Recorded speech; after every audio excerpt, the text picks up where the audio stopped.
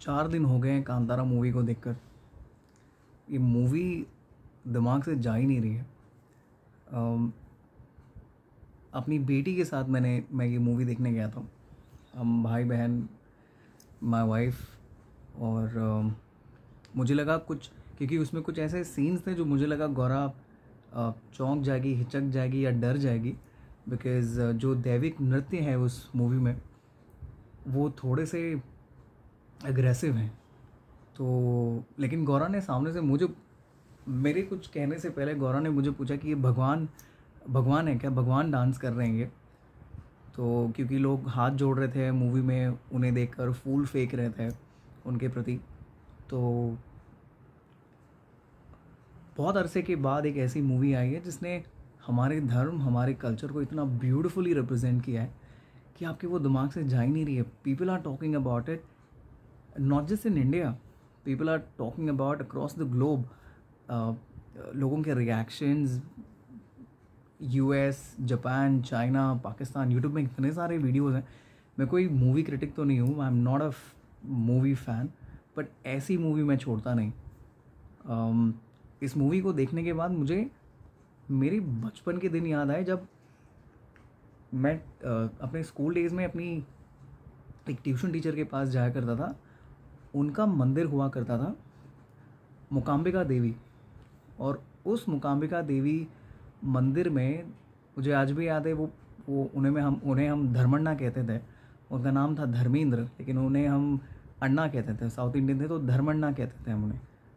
और और एक थे यादव अन्ना। तो जब भी वो पूजा किया करते थे, शुक्रवार के दिन, अक्सर होता था कि जब वो पूजा कर रहे हैं तो उन, उनमें शायद देवी आती थी।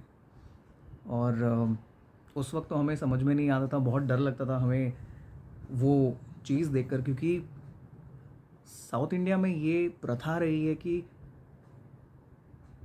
मंदिर की सजावट, देवी देवताओं की सजावट अप्रतिम होती है। मतलब कोई उसमें आपको लगता है कि एक एक सजाने वाले ने अपनी आत्मा अंदर डाल दी है, देव और प्रतिमा इतनी इतनी सुंदर लगती है। और एक एक अलग प्रकार का वाइब होता है, एक अलग प्रकार की शक्ति होती है वहाँ पर। तो हर शुक्रवार जब वो कार्यक्रम होता था तो बहुत लोग अलग अलग जगह से अपनी अपनी समस्याएँ लेकर आते थे और उन्हें एक अलग प्रकार का एक लंबा सा फूल हुआ करता था। मैं भी आई थिंक साउथ इंडियन समझ पाएँगे। वो देते थे और चरणा में दिया जाता था, प्रसाद दिया जाता था। काफ़ी लोग संतुष्ट होते थे। उसे देने के बाद क्या होता था मुझे ये तो पता नहीं, लेकिन उसे उस प्रसाद को ग्रहण करने के बाद जिसकी समस्या है, वो आदमी संतुष्ट ज़रूर हो जाता था।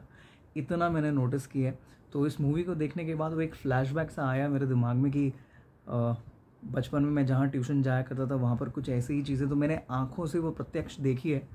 हर फ्राइडे को हम जल्दी छूट जाया करते थे, हमें हमें मंदिर के आरती में उपस्थित होने के लिए जल्दी छोड़ दिया जाता था और हम बड़े एक्साइटेड होते थे प्रसाद खाने के लिए साउथ इंडियन प्रसाद। ओह, उत्तम। तो अब मैं आग्रह करता हूँ सभी से कि अगर इस देश के कल्चर के बारे में जानना है, इस देश के गाँव में देवी देवताओं के बारे में जानना, ये तो छोटी सी झलक है यार, इससे तो बहुत I mean I am sure हम हम सबके गाँव में कुछ न कुछ ऐसा ज़रूर है। जो इस मूवी को देखने के बाद हम कनेक्ट कर सकते हैं, हमारे ग्राम देवता, हमारे कुल देवता तो हम सभी को ये मूवीज़ देखनी चाहिए और आई मीन बेस्ट यार। I am I am speechless I am speechless